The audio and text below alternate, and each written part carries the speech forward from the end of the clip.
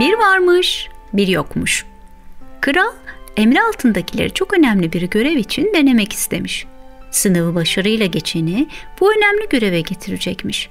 Sınavı ilan ve çağrısını duyan birçok güçlü ve akıllı adam kralın etrafında toplanmış. Ne sınavın nasıl olacağını ne de görevin ne olduğunu kimse bilmiyormuş. Kral onları bugüne kadar görüp görecekleri en kocaman, hiç açılmaz gibi görünen ve kimsenin açamayacağını düşündürecek o devasa kapının önüne getirmiş. Ve şöyle söylemiş.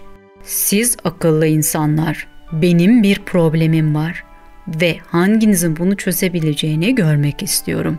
Burada krallığımdaki en büyük ve en ağır kapıyı hepiniz görüyorsunuz. Hanginiz bu kapıyı açabilirsiniz? Herkes önce kapıya ve sonra birbirlerine bakmış. Saray mensuplarından bazıları açamayız der gibi başlarını sallamış. Diğerleri çevresindekilere göre daha akıllı sayılanlar kapıyı daha yakından incelemek istemiş fakat yaklaştıkça daha da büyük ve ağır görünen bu kapıyı onlar da açamayacaklarını peşinen kabul etmişler.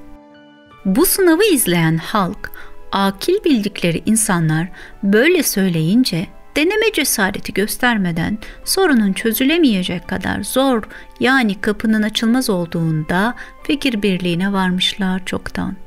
Sadece bir vezir, sadece bir vezir kapının yanına giderek onu şöyle bir gözden geçirmiş ve başlamış elleriyle yoklamaya.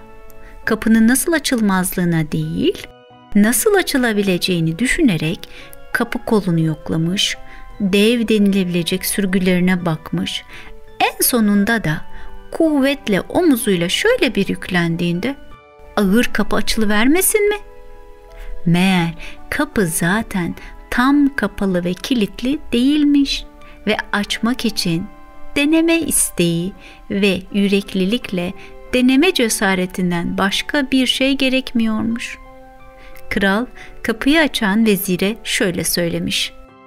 Sadece gördüğün ve işittiğine bağlı kalmadan kendi gücünü devreye soktuğun ve denemeyi göze aldığın için saraydaki görevi sen alacaksın.''